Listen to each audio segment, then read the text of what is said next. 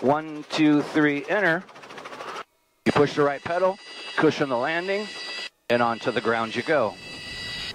Hey, we're going to get right back to that clip and show you why we want to slow, hover, skid straight, parallel, and also I want you to understand the difference between air taxi and hover taxi. And sometimes people even in a tower don't understand that. So we're gonna take you back to that video, let you see the full video, hover taxi and air taxi. This video is one of 12 brand new videos inside Private Pilot with more coming. Every single flying video inside Private Pilot's getting a fresh video. You can go down below, take the 24 hour test flight for Private Pilot, take, see all the videos that have shot so far along with all the new ones coming in. So right back here, I want to mention Hogs Wall of Fame. These are our members. If you're new to Hogs, there's over 300 people now on the Hogs Wall of Fame. That's private, instrument, commercial, and CFI. All members have passed our courses. So we're going to roll the video. At the end, I'm going to tell you how you can get one of these for your flight school, a no-go, Hogs no-go button, and how you can get Private Pilot Study Guide. We'll come back at the end. Go ahead and roll that video, Heather. Okay, we're going to demonstrate a hover taxi. And a lot of people get confused between hover taxi and air taxi. Hover taxi is what we're going to show you. Forward cyclic. I'm going to use my pedals to keep parallel with that yellow line. Cyclic to control the speed. And we want the speed of a brisk walk. And the book says three to five uh, feet skid clearance. A lot of us cheat down to more like two or three feet. This is a proper hover taxi. What people do is they get in a hurry at times and they get going too fast, which isn't a big problem if you're into the wind. But if they've got a tailwind, the faster you go, the more squirrely it's going to get. So I'm going to turn around here, and we're going to go back, and we're going to do it the other direction. Now we're going to have a tailwind. Wind's directly out of the south. I'm going to be facing north, and I should be a little less uh, stable going this way. Not sure, I hope the camera will show it. But now the wind's behind me, so when I'm hover taxiing this way, yeah, you can see it. I'm pushing left pedal, right pedal, left pedal, right pedal, because that wind is coming into the tail rotor, and we're getting that weather vaning effect, and the tail wants to go left and right. So it's a little bit harder going this direction when the wind's behind you. And if you start going faster, then you keep moving into that disturbed air, and it gets worse. So getting in the habit from the very beginning to use the speed of a brisk walk helps you keep it under control when you get the wind behind you. Now, the other thing that we preach is keeping the nose straight. And a lot of times people want to cheat. Here's what I'm going to do. I'm going to turn the nose this way.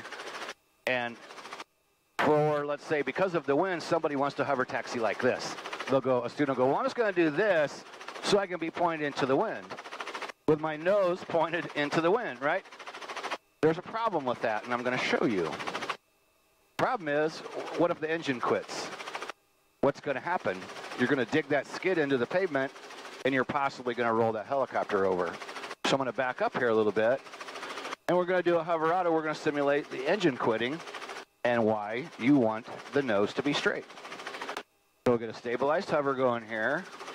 We're just going to start moving forward. So again, if you're always going slow, staying close to the ground, staying on top of those pedals, when the engine quits, one, two, three, enter, you push the right pedal, cushion the landing, and onto the ground you go.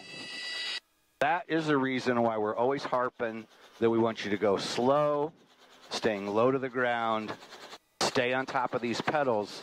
Moving forward is for that exact reason right there. It's in case the engine decides to quit on you. All right, so the next thing we're going to show you an air taxi.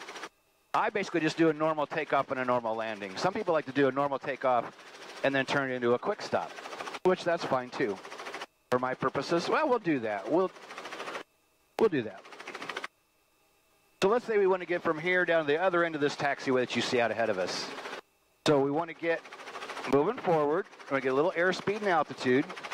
No faster than 50, no higher than 100. And we're going to transition down there to the other end. And the other trick is you do not fly over persons or property on the surface. Get some altitude and airspeed. I think I said I'd do a quick stop. So let's, we're going to go down here to this field and we're going to do a quick stop. And one, two, three. Quick stop, half cyclic, a little bit of right pedal, Keep flaring, keep flaring, keep flaring, keep flaring, keep flaring. I'll level it out and down to the grass. That's just a short, simple air taxi. Could be used for longer distances, shorter distances, but again, you want to make sure that you do not overfly. Persons are properly on the surface, and a proper air taxi is no higher than 100 feet no faster than 50. Live to fly another day. Helicopterground.com. reach out to Heather and flight schools that are sending us members we already know because they members tell us that hey I heard from Straight Up Aviation or Lone Star Helicopters. So reach out to Heather if you will display this in your flight school where pilots make weather decisions, students, pilots that is, making a decision on whether to go or no go, go or no go, we'll send you. So email Heather at helicopterground.com. So hope you like that video. Plenty more to come.